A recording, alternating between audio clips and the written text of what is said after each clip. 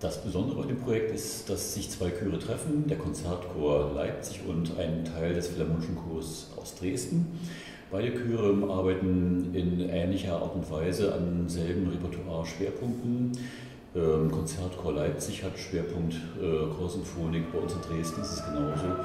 Die Arbeitsweisen sind dieselben und das Interessante ist einfach bei den Begegnungen, dass man dann diese beiden äh, Chorgemeinschaften zusammenführt, dass man sie klanglich ähm, auf einen Pfad führt, wo sie sich begegnen können, wo sie dann einfach quasi als neuer Chor verschmelzen und äh, dann ein, äh, dass das große Werk zum Erklingen kommt. Äh, jedes Stück ist ein abgeschlossenes Werk für sich. Äh, ich finde die Verbindung einfach sehr, sehr, sehr spannend. Mozart-Requiem einzubinden mit, mit Avopert, äh, Dabazem, die, äh, dieses doch sehr eindringliche Werk Mauersberger mit der großen Aussage eben auch aus dem äh, Zweiten Weltkrieg.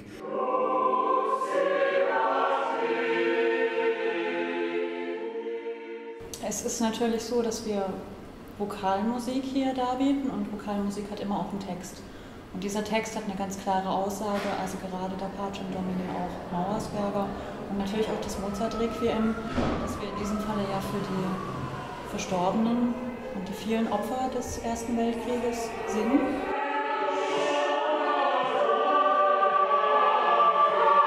Also man ist sich schon darüber im Klaren, dass ähm, diese Texte eigentlich zur Folge haben, dass man dann gar keine Worte mehr hat.